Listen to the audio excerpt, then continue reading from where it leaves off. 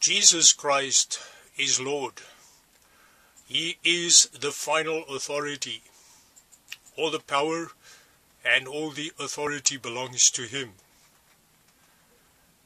To fear Jesus Christ and to obey Him is wisdom.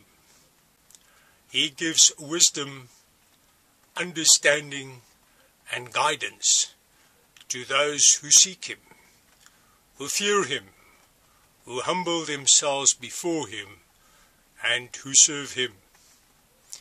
Those who disregard Jesus Christ are foolish. They have no future, they have no hope, they have no expectation.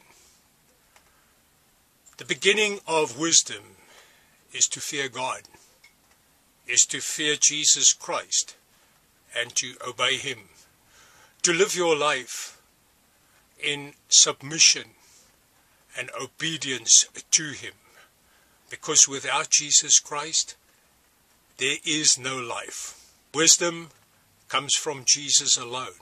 He freely gives it to those who seek Him, who serve Him, and who follow Him.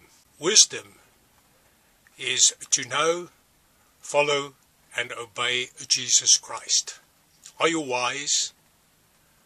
Do you fear Jesus? Do you seek Him? Do you follow Him? And do you obey Him? May Jesus bless you.